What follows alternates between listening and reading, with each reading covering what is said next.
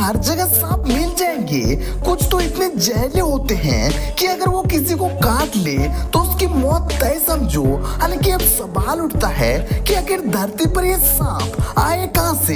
कि इनका कोई घर है? जहाँ से ये पूरी दुनिया पर फैल गए। इसका सही से जवाब दो किसी को भी नहीं पता। लेकिन ये ज़रूर है कि इस धरती पर एक आइलैंड ऐसा है, जहाँ सांपों का साम्राज्य है।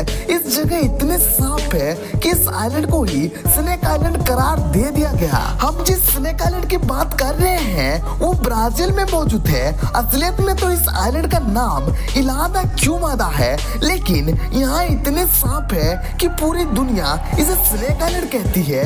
दुनिया के सबसे जहरीले और सबसे खतरनाक सांप भी यही पाए जाते हैं। यहाँ आपको हर तरफ़ सांप ही नज़र आएँगे। यहाँ तक कि पेड़ पर भी ये झुंड के झुंड लटकते रहते हैं। स्नेक आइलैंड के बारे में कहा जाता है कि यहाँ के सांप उड़ते भी हैं। दरअसल यहाँ एक सांप की प्रजाति पाई जाती है, जिसे वाइपर कहा जाता है।